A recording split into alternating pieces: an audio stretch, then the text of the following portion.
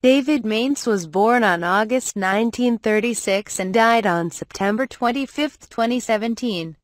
He was a Canadian televangelist and evangelical Christian leader.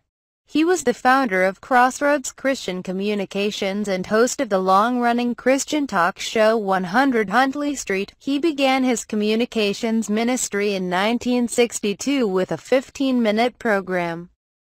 Following the late-night news on affiliate CHOV in Pembroke, Ontario, while he pastored in Deep River, he later began a television program called Crossroads. The program gradually expanded to stations across Canada, but with minimal penetration into the American heartland. In 1975 Mainse left the pastorate to focus full-time on television and evangelism projects. He began the ministry known as Crossroads Christian Communications in the early 70s with Circle Square a children's telecast that has been carried in over 50 countries and continues to be shown in some. David later made the fictional ranch a reality as the summer camp Circle Square Ranch.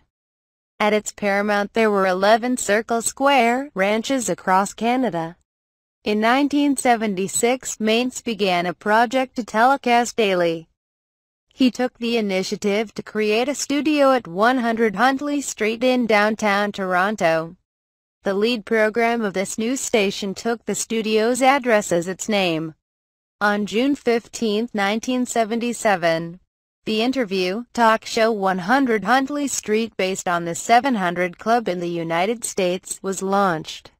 This TV program featured more than 14,000 guests such as Billy Graham and Charlton Heston and in 2015 was reported as one of three Canadian TV programs attracting over 1 million viewers each week. Crossroads produced a short-lived program for teenagers, Inside Track, in 1978. In 1979 outside the Toronto mayor's office, Mainse protested the gay publication The Body Politic, saying that parents and all decent people are particularly disgusted by the perversity which publishes and disseminates anti-child, anti-parent dehumanizing materials. During the rally, Mainse was filmed protesting alongside Ken Campbell. In 1998, the Canadian Radio, Television and Telecommunications Commission granted Crossroads a license to operate a 24-hour commercial TV station on cable, based in Burlington, Ontario and covering North America on satellite. CITS TV has been broadcasting since September 1998. The station has been branded as YES TV since 2014. Mainse served for several years at the request of mutual funds billionaire John Templeton as a judge in the awarding of the Templeton Prize. He received numerous awards for excellence in television production from the U.S.-based national religious broadcasters, and several honorary doctorates. The most recent being from Tyndale University College and Seminary in Toronto in 2003. Mainse stepped down as president of Crossroads and host of 100 Huntley Street in the summer of 2003. He passed the torch to his youngest son, Ron Mainse of Burlington, Ontario. He remained on the CTS board. Crossroads' current CEO is Lorna Dueck and 100 Huntley Street is hosted by Greg Musselman, Cheryl Weber and Maggie John. Though retired, he continued to be featured on 100 Huntley Street through various segments acting as a spokesman for Crossroads on various issues of social concern.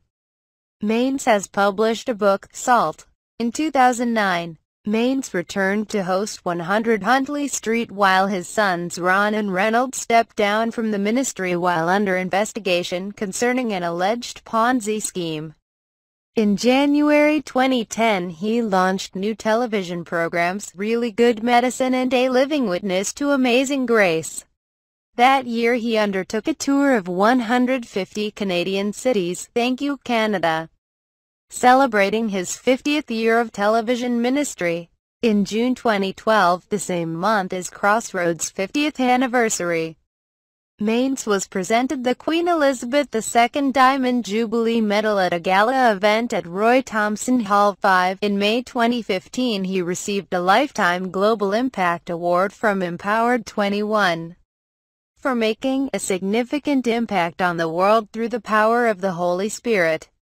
Also in 2012 he launched the 100 Words Daily devotional blog that in 2016 expanded into a two-minute segment throughout the day on YES TV. Mainse died on September 25, 2017 from complications from MDS leukemia.